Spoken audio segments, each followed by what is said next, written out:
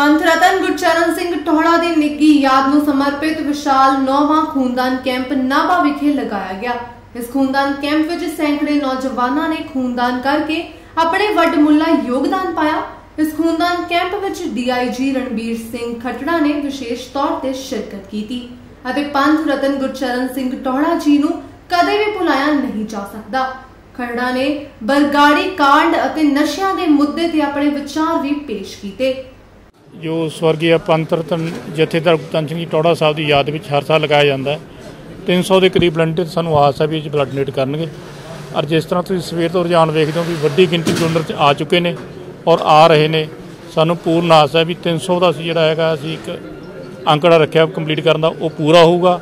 ਨਾਲ ਅਸੀਂ ਇੱਕ ਸੰਦੇਸ਼ ਦੇਣਾ ਚਾਹੁੰਦੇ ਹਾਂ ਕਿ ਖੂਨਦਾਨ ਕਰਕੇ ਜੇਕਰ ਕਿਸੇ ਦੀ ਜਾਨ ਬਚਦੀ ਹੈ, ਇਸ ਤੋਂ ਵੱਡਾ ਕੋਈ ਦਾਨ ਹੋ ਨਹੀਂ ਸਕਦਾ ਹੈਗਾ। ਸਾਰਿਆਂ ਨੂੰ ਇਹਦੇ ਵਿੱਚ ਆਪਣਾ ਯੋਗਦਾਨ ਪਾਉਣਾ ਚਾਹੀਦਾ। ਸਭ ਦਾ ਧੰਨਵਾਦ। ਵਾਹਿਗੁਰੂ ਜੀ ਕਾ ਖਾਲਸਾ, ਵਾਹਿਗੁਰੂ ਜੀ ਕੀ ਨਾਪਾ ਤੋਂ ਬ੍ਰਿਜ ਖੁਰਾਣਾ ਅਤੇ ਦੀਪਕ ਬਾਂਗਲਾ ਦੀ ਰਿਪੋਰਟ, ਚੈਨਲ 2